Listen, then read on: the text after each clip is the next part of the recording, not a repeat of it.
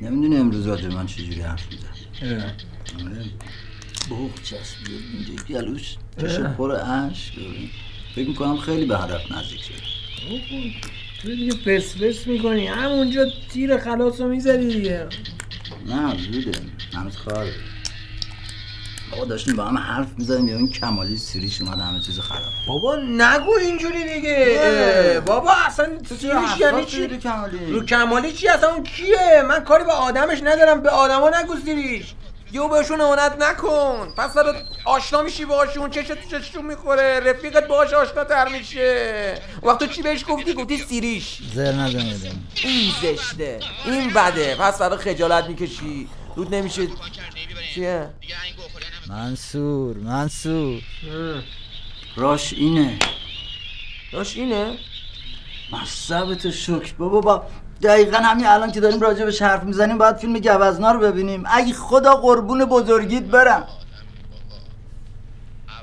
داشت ما یه شب در میان داریم یوزها رو می‌بینیم. چرا ربطی به قسمت داره؟ سرکار خیلی لطف کردی. آدمت من این رفیقم باید حتما میدیدمش. چون ما رفاقتمون اینجوری هم نیست. بابا رفاقتمون اینج- آقا سلام. علیکم. سلام. سلام. ببخش ببخش معذرت می‌خوام. شما از آسایشگاه جانبازان شهید عباسی اومدید بله. خب برای دیدن آقا رضا اومدید بله. خب من دوست آقا رضام منصورم. اه، پس اگه دوست آقا رضایی چه دستمن دستتونه؟ نه این چیزه این یه سوء تفاهم فرمالیته است یعنی حل میشه. سرکار در جریان. معذرت می‌خوام. ببخشید. شما خانم کمالی هستی؟ نه. نیستی شما خانم کمالی؟ نه من نیستم.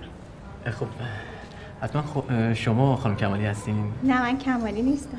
شما هم نیستین؟